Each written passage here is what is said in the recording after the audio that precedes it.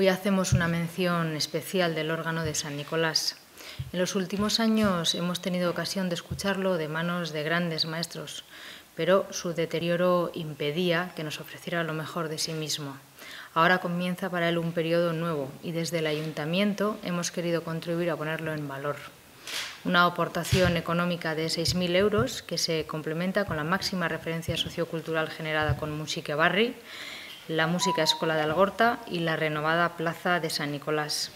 Para el programa de conciertos se ha concedido también una subvención de 2.775 euros.